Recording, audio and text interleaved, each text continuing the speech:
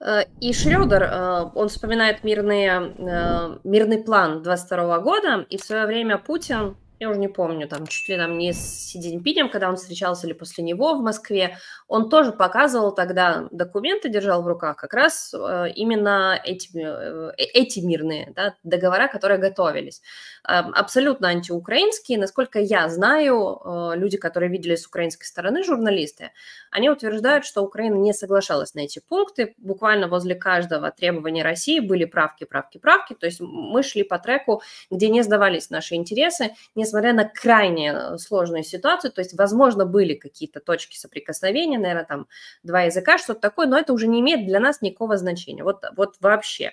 Тем не менее, Марк все время поднимает Российская Федерация. Я уже не знаю, может быть, они сожалеют о том, что тогда не получилось дожать, получить то, что они хотели. Тем не менее, все время флешбэк у Путина э, именно на эти переговоры. Если предположить, что он может мечтать, надеяться, что это еще раз удастся, еще раз повторится. У нас есть свой отдельный трек, вот совсем скоро будут встречаться на Мальте в продолжение мирного плана президента Зеленского. Да, не все страны с этим согласны, но мы продолжаем их уговаривать. Турция сейчас присоединяется к этому, в общем, и не только. Если борьба и война вот этих двух мирных планов, ну, один, конечно, план сатаны, но уж уж. Я думаю, нет. Я думаю, Москвы, план Москвы никто не примет, потому что это все тот же план капитуляции Украины. Это даже не попытка там найти компромисс. А в чем этот компромисс? А вот. Я, кстати, добавлю, я тут был в, э, вчера в Министерстве иностранных дел Франции. Нас принимали тут группу оппозиционеров. А вот. В ноябре конференция мира будет, которую проводит господин Макрон. Там Си Цзиньпин будет участвовать, Гутиерреш, там, ну все-все-все-все, Реши Сунак, вообще все. В Париже будет такая конференция. Там тоже только об Украине. Ну, а о чем еще? Ну, наверное, теперь Ближний Восток еще. Так что форматов-то дохренище. Другой вопрос, что, понимаете, как э, Москва утратила возможную, возможность эксклюзивную что-то предлагать. Потому что сделано столько всего, наделали дел таких, что от Москвы уже никто ничего не ждет. Ну вот на мой взгляд. Москву заставляет согласиться на что-то. Да? Есть предварительные условия для любого мирного плана, это вывод войск ну хотя бы начало вывода войск, хотя бы до линии 24 февраля 2022 года, да, вы выведете, выведете и что-то хотя бы пойдет, что-то начнется. Пока вы не выведете, ничего не начнется, ничего не пойдет. При каких обстоятельствах Москва может на это пойти? Ну, только если ее погонят. Если, так сказать, контрнаступление будет интенсивнее и динамика другая. Ну, это же очевидно, мы это все понимаем. Тогда уже как бы, да, с сапогом на мордочке оно как-то проще договариваться, когда так раз каблучищем так нажимаешь на теменные косточки и сразу ай-яй-яй, так вот не надо. Но по-другому никак. По-другому никак. И, собственно, в Израиле, в принципе, то же самое. То же самое. Пока не начнешь каблуком вминать это все, лобные доли, то ничего не будет. Вообще ничего не будет. Я не думаю, что у Москвы есть мирный план. Это все попытка либо вывернуться вот как бы, ой, давайте вот сядем за стол переговоров, а сейчас прекратим всякие наступления, и вот будем переговариваться, там, перемирие, туда-сюда, прекращение огня. Вот, изменить динамику вот, как таковую. И, конечно, он же все время поминает про поставки. Не надо, мы, говорит, блины пожрем. Какие тебе блины? Куда? Атакамса, какие... пожрется атакамса. Да, атакамса, а то мы лучше блины пожрем с вами, американцы. Кто с тобой? Какие блины? Ну, неважно. Но смысл здесь в том, что э, все направлено на то, чтобы изменить этот ход событий, который, ну, может быть, они не считают, что он для них складывается неудачным. Ради бога, пусть так. Но, а, видите ли, а, в той обстановке, которая уже сложилась, ну, а, американцы могут расстроиться и передать гораздо больше боеприпасов, вооружений Украине. Кто скажет, что это не повлияет? Вот когда мы говорим, как, что они могут сделать. А, а если это будет не 20 ракет Атакамс, а 500? Вот такой вот. Вот 500. И в один день 100 выпустят. Начиная от Крымского моста, там, полуострова и так далее. Ну и позиции там, и там подобное. Опять по Бердянску несчастному ударить по аэродрому. И что тогда? И как тогда Москва?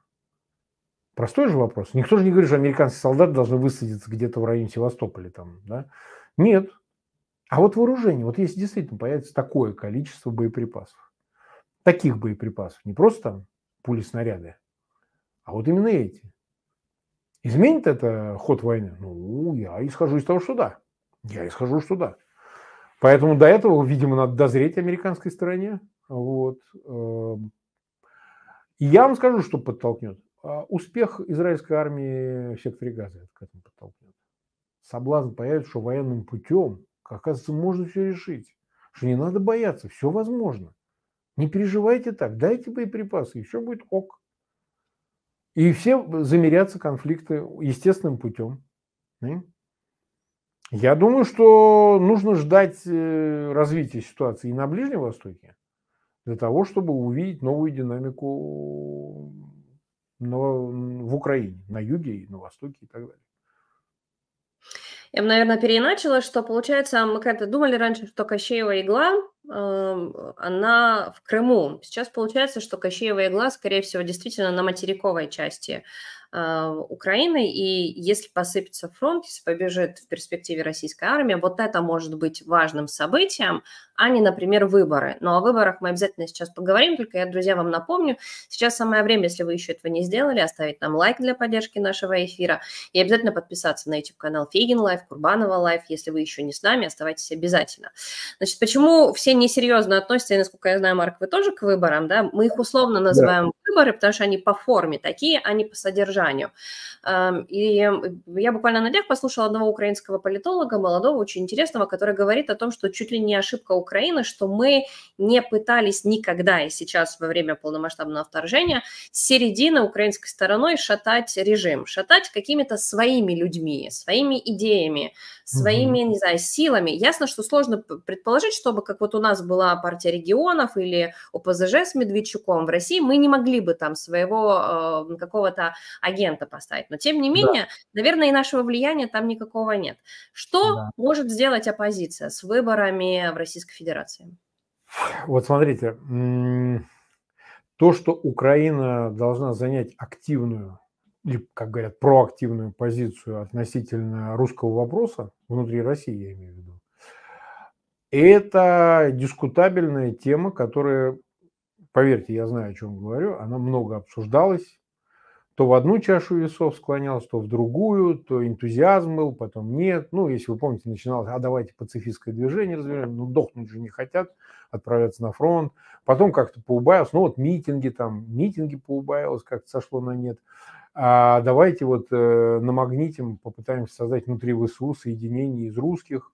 Ну, это пошло, оно э, находится в какой-то динамике, но тоже интенсивный, прямо скажем, все эти объединения малочисленные.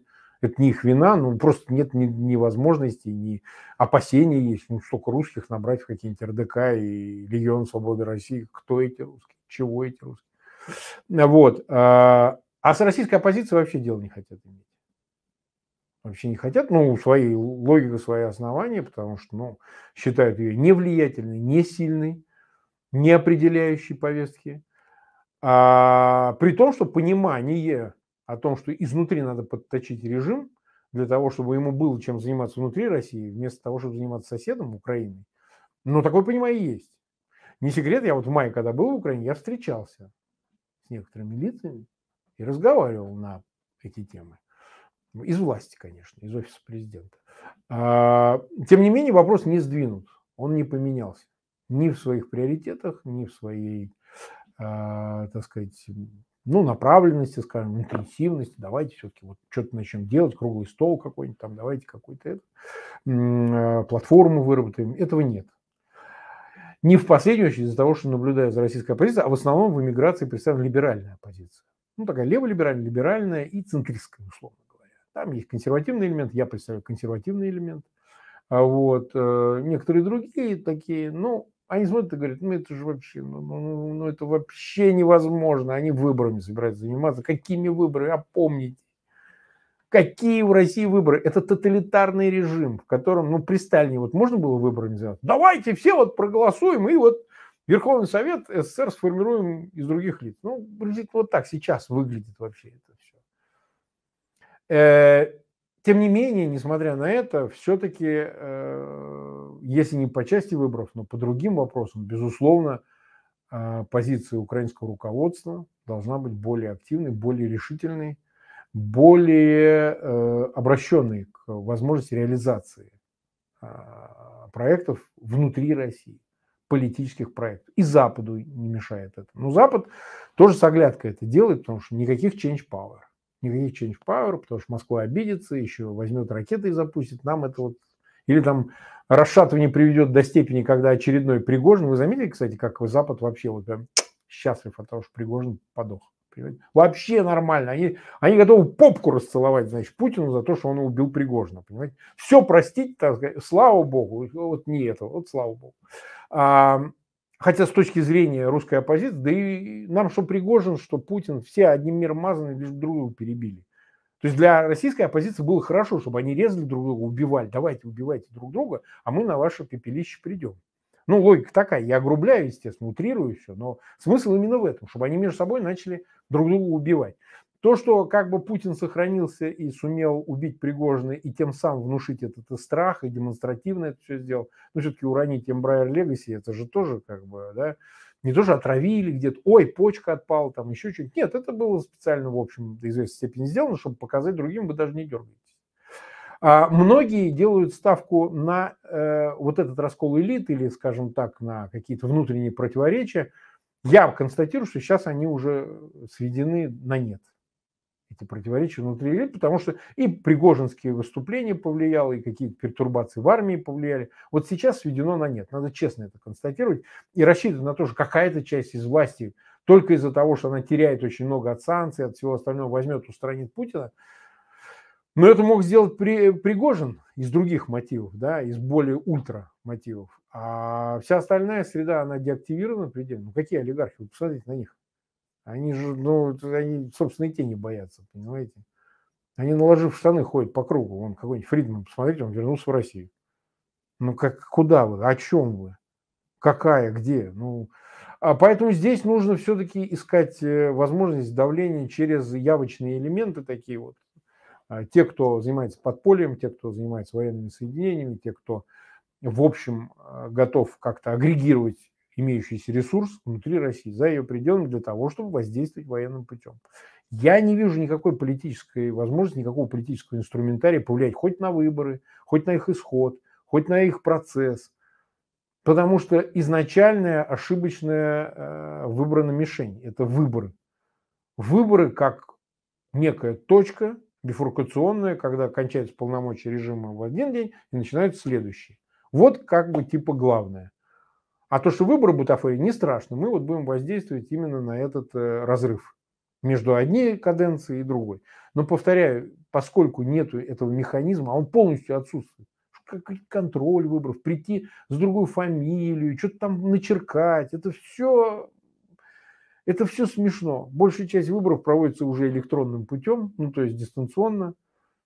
Там вообще никакого, не то что контроль, не, не голосует-то никто, просто кнопки нажимают. Не говоря уже о том, что все равно объявляется результат, который заранее вообще известен, и он вообще никак не коррелируется с подсчетом. Вообще никакой даже, они даже не стыкуются подсчет и объявление итогов. Поэтому э, сама по себе э, пляски вокруг выборов они как раз отдаляют от возможности союза и какого-то взаимодействия и с Киевом. В меньшей степени с Западом. Западу удобно изображать. Ну что ж, вот оппозиция, она там что-то пытается делать.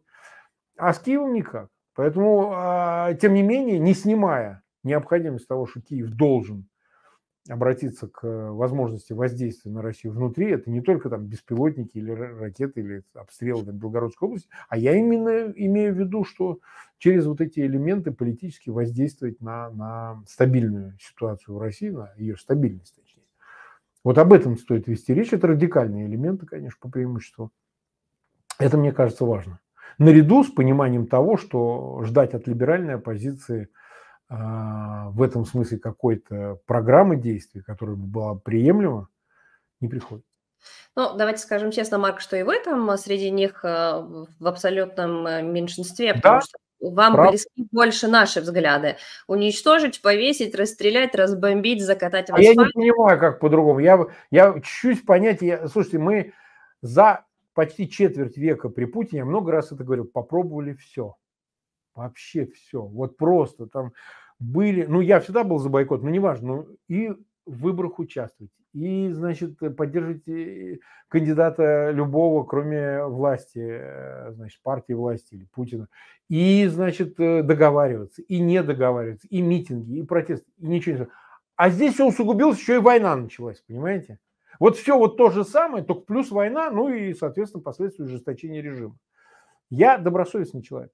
Я все честно пробую. Я участвую во всех мероприятиях, я честно высказываю свою позицию, я никогда не, не, не, не пытаюсь ее лакировать или что-то. Я, я то, что думаю, то я и говорю везде. Ну, как бы меня приглашают, потому что я все-таки такой заметный Правильно, человек. но вы все равно окажетесь в компании людей. А, Ходорковский, он другого взгляда. Не должно О. быть, а, не должна распасться Россия. Захотят национальные республики отсоединиться. Ок, ну пускай подумают.